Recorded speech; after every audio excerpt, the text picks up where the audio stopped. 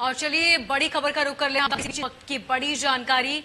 हंगामा किया। इटावा से बड़ी जानकारी, शराब पीकर रेलवे स्टेशन के बाहर जमकर हंगामा किया गया। सिपाही ने लोगों के साथ इस दौरान गाली गलोज भी की। तस्वीरें आप देख सकते हैं। राहगीरों ने पुलिस को फ़ोन कर पूरे मामले की सूचना दी, जिसके बाद पुलिस मौके पर पहुँची। और तस्वीरें आप देख सकते हैं, इटावा में शराबी सिपाही का हंगामा। सिपाही ने शराब के नशे में खूब हंगामा किया। इसके साथ ही शराब पीकर रेलवे स्टेशन के बाहर वो बैठ गया और हंगामा करने लगा।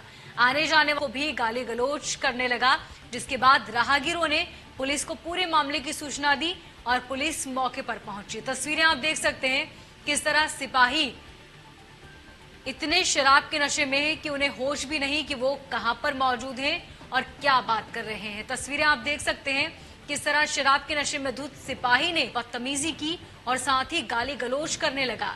जिसके बाद वहाँ पुलिस पहुँची, लेकिन पुलिस के साथ भी वो इसी तरह का हंगामा करते नज़र आया।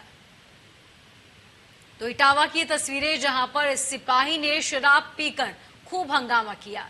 तो एक तरफ़ जहाँ आम जनता को सलाह देने वाले, नसीहत देने वाले सिपाही जब खुद इस तरह के शराब पीकर हंगामा करते हैं तो आम जनता में क्या संदेश जाएगा?